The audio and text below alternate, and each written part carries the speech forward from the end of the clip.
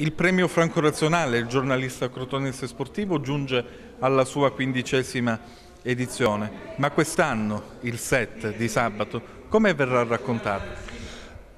È un'edizione importante e non solo dal punto di vista numerico, perché quindi c'è un bel traguardo, ma è importante perché ormai ha una sua storia il premio. Nel corso degli anni abbiamo parlato di tante cose. Quest'anno ci vogliamo finalizzare il discorso della tematica sociale su quella che è la violenza sulle donne e l'omofobia.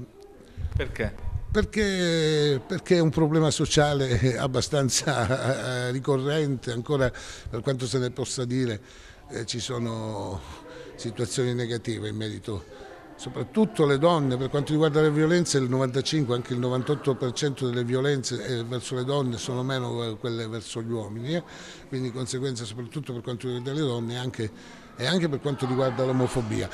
Premesso questo volevo dire che eh, inviteremo Vladimir Luxuria e Greta Beccaglia che sono due eh, persone che hanno subito violenza e quindi testimonieranno la violenza subita durante i loro percorsi di vita e non parleremo di altre situazioni soltanto. Chi sono i premiati quest'anno? I premiati sono, io avevo l'elenco prima, lo stavo per leggere, sono Fabrizio Ruggero come, per, lo per, lo sport, poi c'è Maurizio Condipodoro che è presidente del CONI nazionale, sempre per lo sport come amico dello sport, come facente parte attraverso la sua carica poi con il regionale, forse ho detto nazionale, quindi correggo, Maurizio Condipodoro, poi c'è eh, Antonio Lopez di Rai 3, poi c'è il dottor Antonio Marullo per i suoi trascorsi sportivi come medico sociale,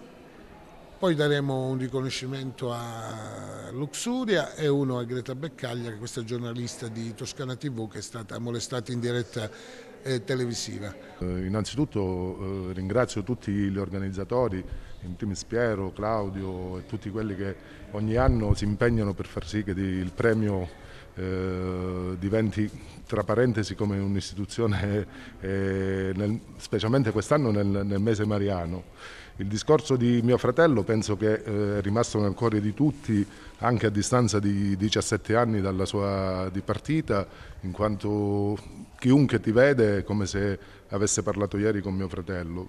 Il discorso sociale è, un discorso che va associato al premio di Franco, è un qualcosa di, di importante eh, che sicuramente mio fratello avrebbe preso a pieno questa situazione qua. Qual è invece suo ricordo personale, se posso permettermi, di Franco? Eh, ricordi sono tantissimi. Vabbè, il fatto di, di, di pensare quando rientrava a casa eh, e eh, sentivi proprio l'entusiasmo eh, di quando entrava, quando ti, ti, sorrideva, sempre col sorriso verso tutti. E poi dei altri ricordi purtroppo, ahimè, nel discorso della, della malattia, nella conoscenza proprio diretta della malattia che lui eh, ho un aneddoto da, da, da, dire che quando è stato a Pavia un primario mi ha detto suo fratello lo deve distogliere perché è una persona molto intelligente quindi aveva capito pienamente qual era la sua situazione.